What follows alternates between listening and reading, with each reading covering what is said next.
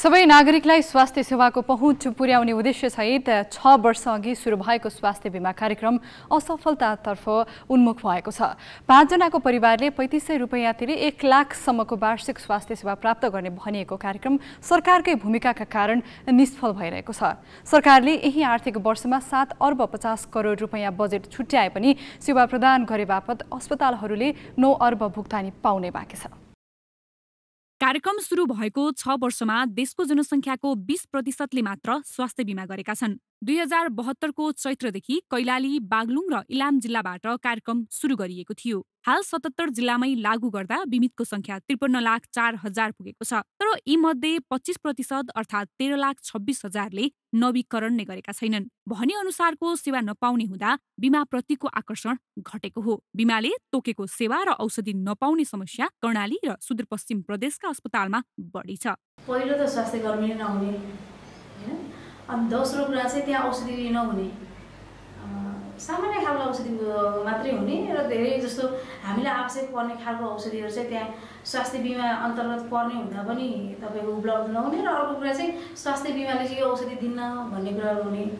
र अर्को तपाईँको मेसिनहरू जस्तो थाइरोइड चेक गर्न गयो मेसिन छ बिग्रिएको छ होइन? महिनौ छ वर्षौँ भइसक्यो। जुन मापदण्ड छ त्यो अनुसार चाहिँ सम्पूर्ण सेवाहरू चाहिँ जिल्लामा लिन पाइँदैन। यसका लागि तलतिर जानुपर्छ। त्यसले गर्दाखेरि चाहिँ धेरै कुराहरू खर्चिलो झन् खर्चिलो पनि हुने अलिकति झन्झटिलो पनि हुने। राम्रो खालको पहुँच नपुगेको के अरे हस्पिटल नहुँदा त्यो जिल्लामा जनताहरूले चाहिँ शास्ति भोग्नु पर्ने अवस्था हो। सानो रोग हुँदा पनि र आर्थिक अवस्था कमजोर भएको अवस्थामा झर्न पर्ने के तराईमै झर्नु पर्ने।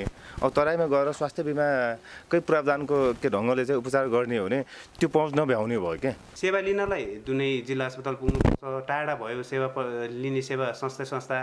त्यो भएको हुनाले चाहिँ हामीलाई अप्ठ्यारो हुन्छ। हामीलाई केही पऱ्यो भने पनि हामी अब कतिपय केही उपचारहरू त्यतिबाट हुन्छ नभए हामी काठमाडौँतिर तलतिर गएर गर्ने गरेछ भन्ने हिसाबले पनि अलिकति उहाँ हच्किनु भएको छ। कार्यक्रममा छ वर्षमा सात अर्ब रुपियाँ बिमा बापत उठिसकेको छ। तर बिमाले तोकेको स्वास्थ्य सेवा प्रदान गरे बापत अस्पतालहरूले भने समयमै रकम भुक्तानी पाएका छैनन्। स्वास्थ्य संस्थाहरूलाई नौ अर्ब रकम भुक्तानी गर्न बाँकी छ। समयमा भुक्तानी नपाएपछि अस्पतालहरूले बिमा कार्यक्रम रोक्न थालेका छन्। विगतका क्लेमहरू चाहिँ भुक्तानी भएको छैन। विगतका क्लेमलाई सेटलमेन्ट गर्ने भनेर चाहिँ हामी लागेका छौँ। किनभने विगत वर्षौँदेखिका भुक्तानीहरू पनि छन् त्यसमा। त्यस कारणले गर्दाखेरि अब होइन एउटा त्यो हो। विगतमा चाहिँ अलिकति भनौँ न बिमाको चाहिँ जुन पुनरावलोकन गरिन्छ उहाँहरूले क्लेम गर्नुहुन्छ। सेवा प्रदायक संस्थाले क्लेम गर्नुहुन्छ अनि हामीले चाहिँ यहाँ भेरिफिकेसन गर्छौँ।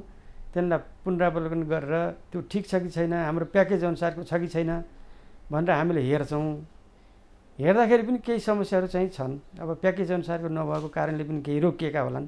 स्वास्थ्य बिमा बोर्डले अस्पतालसँगै बिमा गराउने दर्ता सहयोगीहरूलाई समेत गत भदौदेखिको पारिश्रमिक पनि दिएको छैन। देशभरका सात हजार दर्ता सहयोगीले आठ महिनादेखि बिना तलब काम गरिरहेका छन्। यस कार्यक्रम अन्तर्गत सबैभन्दा कम बिमित मध्य प्रदेशमा र बढी गण्डकी प्रदेशमा छन्। पाँचजनाको परिवारले पैँतिस सय रकम तिरे एक लाखसम्मको उपचार सेवा पाइन्छ भने दसजनाको परिवारले सात हजार तिरे दुई लाखसम्मको खर्च बेहोर्ने व्यवस्था छ। यसो त स्वास्थ्य बिमा ऐन दुई हजार चौरात्तरले बोर्डलाई स्वायत्त संस्था बनाएको छ। तर स्वास्थ्य मन्त्रालयले मातहतको निकाय जस्तो व्यवहार गर्दा पनि समस्या भएको जानकारहरूको बुझाइ छ। जिल्ला ब्युरोको सहयोगमा क्यामेरामा रिकेश सिंह र प्रज्ञा सिन्हा ग्यालेक्सी फोके काठमाडौँ। स्वास्थ्य बिमा कार्यक्रम किन प्रभावकारी हुन सकेन भनेर हामीले स्वास्थ्य बिमा कार्यक्रमको ढाँचा निर्माणमा संलग्न त्रिभुवन विश्वविद्यालयका प्राध्यापक शिवराज अधिकारीलाई सोधेका छौँ। नम्बर बढाउँदै जाने डिस्ट्रिक्ट चाहिँ कभरेज गर्ने भन्ने हिसाबले गयो न कि संस्था सस्टेनेबल बनाउँ भन्नेतिरबाट गएन। होइन नम्बर बढाइदिउँ नम्बर बढाएपछि यति डिस्ट्रिक्ट अहिले सतहत्तरै जिल्ला जिल्लामा गयो भन्ने हो होइन?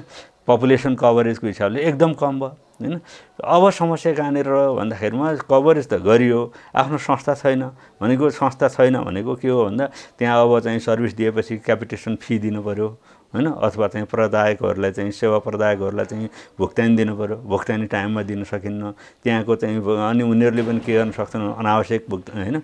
खर्च माग्न सक्छन् अनावश्यक चाहिँ ट्रिटमेन्ट गरे हुन सक्छन्। त्यसलाई चाहिँ हेर्ने चाहिँ मान्छे भएन। त्यो सिस्टमै बनेन। जब सिस्टम बनेन त्यसपछि टाइममा दिन सकिएन। टाइममा दिन नसकेपछि चाहिँ पैसा पनि टाइममा दिन नसक्ने।